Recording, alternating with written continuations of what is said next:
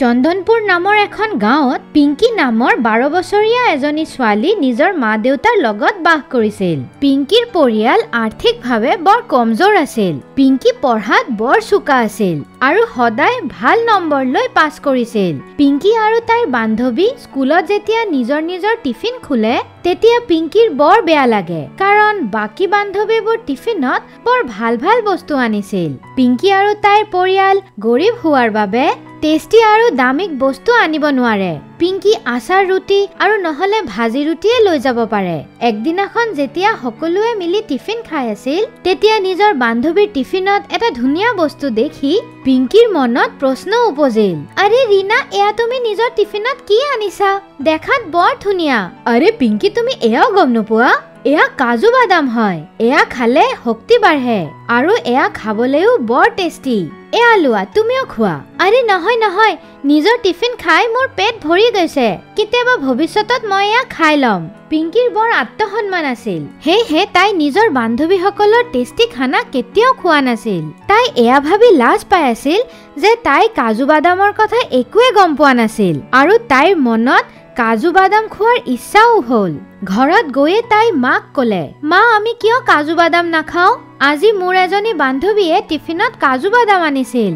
আৰু মই নাজানোৱে কি কাজু বাদাম কি হয়। মাজনী কাজু বাদাম বৰ দামী হয়। কিবাকেতো আমি দুই টাইম খানা খাব পাওঁ। কাজু বাদামৰ কথা ভাবা আমাৰ কাৰণে সম্ভৱে নহয়।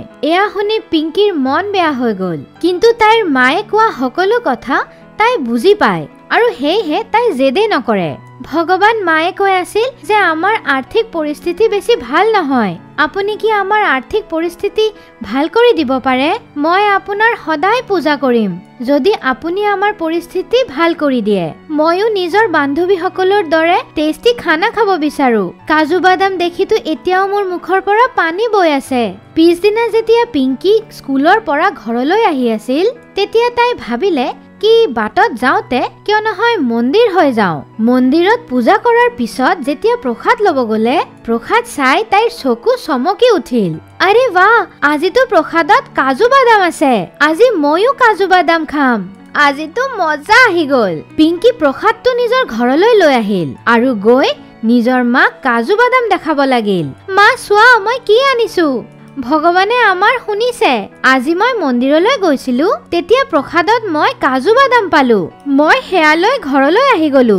লোৱা মা তুমিও অলপমান খাই লোৱা। আৰু ময়ো খাই লওঁ। আৰু কিছুমান কাজু বাদাম মই কালি টিফিনত লৈ যাম। আৰে নহয় মাজনী তুমিয়ে খাই লোৱা। তোমাৰ কাজু বাদাম ভাল লাগে না? আৰু এনেও মই এইমাত্ৰই খাই উঠিলো। মোৰ পেট একদম ভৰ্তি হৈ আছে। তুমি এতিয়া অলপমান খোৱা আৰু যি বাকী থাকিব কালি টিফিনত লৈ যাবা। পিংকি সেইদিনাখন বৰ হেপী আছিল। তাই এটা কাজু আৰু এটা বাদাম খালে।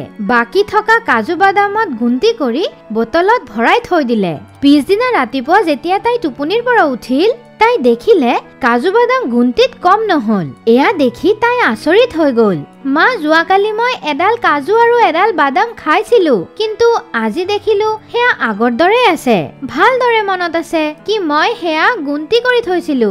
আৰে হ'ব পাৰে কি তুমি গুণিবলৈ ভুল কৰিছা। বেছি ভাবিব নালাগে। সোনকালে ৰেডি হৈ স্কুললৈ গুচি যোৱা। স্কুললৈ যোৱাৰ সময় হৈ গৈছে। পিংকি আৰু এয়া নাভাবিলে। সোনকালে স্কুল যোৱাৰ বাবে ৰেডি হৈ গল। তাই আজি বৰ হেপী আছিল কাৰণ টিফিনত আজি তাই কাজু বাদাম লৈ যাব।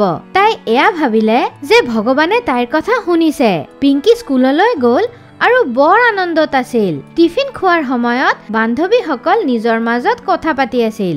আৰে ৱাহ পিংকি! তুমিতো আজি টিফিনত কাজু বাদাম আনিছা। আৰে হয় ৰীণা যোৱাকালি মই এটা মন্দিৰলৈ গৈছিলো তেতিয়া তাতে প্ৰসাদত মোক পণ্ডিতে কাজু বাদাম দিলে। তো মই ভাবিলো কিয় নহয় টিফিনত লৈ যাওঁ। বহুত ভাল কৰিছা তুমি পিংকি আৰু কাজু বাদামবোৰ দেখাতো বৰ ভাল লাগি আছে। পিংকি নিজৰ গোটেই টিফিন শেষ কৰি দিলে আৰু ঘৰলৈ উভতি আহিল। ঘৰলৈ আহি তাই যেতিয়া টিফিন খুলি মাক ধুবলৈ দিলে তেতিয়া তাই নিজৰ চকুৰ ওপৰত বিশ্বাস কৰিব নোৱাৰিলে। মা সোনকালে আহা। মা দৌৰি দৌৰি আহিল। কি হৈছে মাজনী? ইমান সোনকালে মোক কিয় মাতিছা? তুমি ক'বাত দুখটো পোৱা নাই? আৰে নহয় মা মই দুখ পোৱা নাই। কিন্তু এয়া চোৱা মই নিজৰ টিফিন পুৰা শেষ কৰি দিছিলো। কিন্তু এতিয়া ইয়াতে আগৰ নিচিনাই কাজু বাদাম আছে। এয়া কেনেকুৱাকৈ হ'ব পাৰে?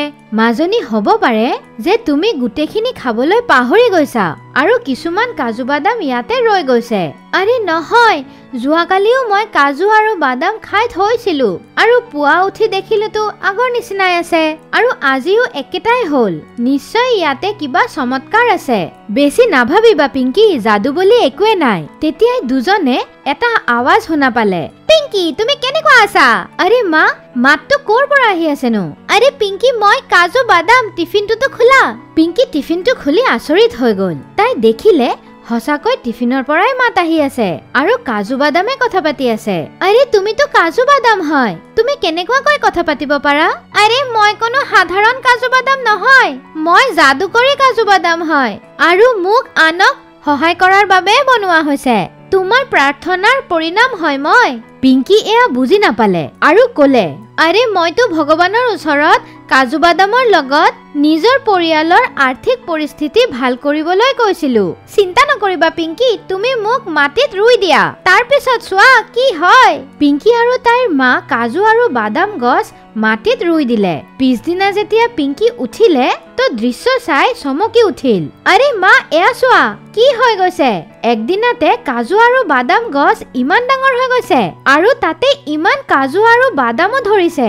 আৰে হয় পিংকি এয়াতো সঁচাকৈ যাদু হয়। গোটেই দিনত ইমান ডাঙৰ হৈ গৈছে যি বস্তু হবলৈ মাহ লাগি যায় গোটেই দিনত হৈ গ'ল। গছৰ পৰা মাত আহিল। পিংকি এতিয়া তোমালোক গৈ মোক বজাৰত বিক্ৰী কৰিব পাৰা। গোটেই চহৰত মোৰ নিচিনা কাজু বাদাম কতো নপাবা। তেতিয়া মানুহে ইয়াৰ বাবে ভাল দাম দিব। এয়াই নহয় সকলো দিন মই এনেকুৱাকেই ডাঙৰ হ'ম। পিংকি আৰু তাৰ মা দেউতা কাজু বাদাম বজাৰত বিক্ৰী কৰিবলৈ গ'ল। তেওঁলোক বহুত ৰোজগাৰ কৰিল। লাহে লাহে পিংকি আৰু তাইৰ পৰিয়াল আৰ্থিকৰ ফালেদিও মজবুত হৈ গ'ল। গছজোপা সদায় ডাঙৰ হয়। পিংকি আৰু তাইৰ পৰিয়ালে নিজৰ দৰে দুখীয়া মানুহৰ সহায় কৰা আৰম্ভ কৰি দিলে। সেইবাবে গছ আৰু দ্ৰুতগতিত ডাঙৰ হৈ গ'ল। এতিয়া পিংকি আৰু তাইৰ পৰিয়াল সমৃদ্ধ হৈ গ'ল।